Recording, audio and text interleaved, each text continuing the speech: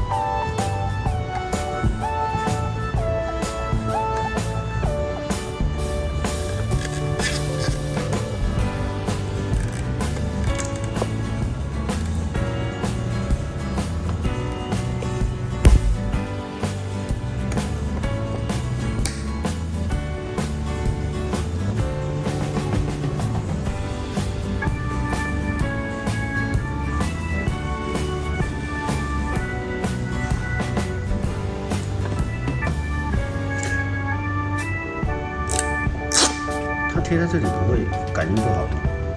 还好，这边不会，后座哎，不会，主要是不要在金属件下面。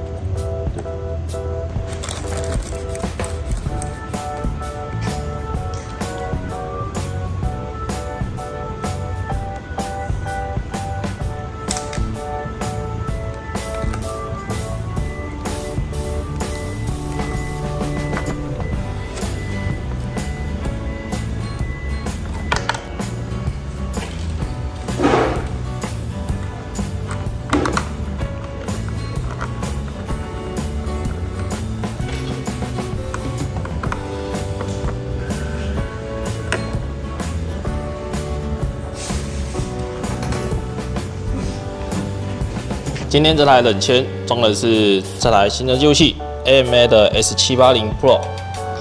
它最主要有些什么特殊的功能，或是它的条件是什么？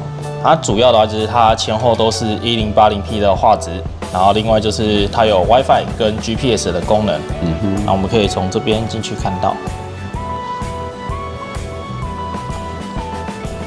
就这边可以设定它 WiFi 打开，这样你就可以用手机直接连线，那就可以直接看里面的画面。包含说你可以把它下载到你的手机里面，如果当下有有趣的画面需要用的时候，就可以马上载到手机里面了。然后它里面这边有 GPS 的功能，那 GPS 的话，它除了可以显示你的坐标，那还有它可以帮你定位。就是它定位之后呢，它可以设定，它可以自动帮你调整时间，就可以不用一直想说我的时间会不会跑掉。哦，它比较不会跑掉。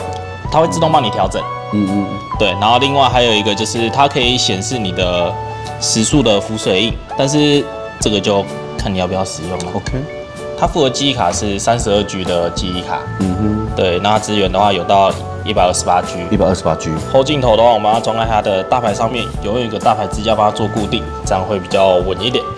前面的话，把它装在前面整流罩下面一点位置这边。你的建议售价是多少？我们的话是报七千八，装的好。七千八，所以七八零七千八的意思就对了。对，刚刚好这个。刚刚好这个是不是？OK，那如果有需要的人可以来骑师询问看看。OK。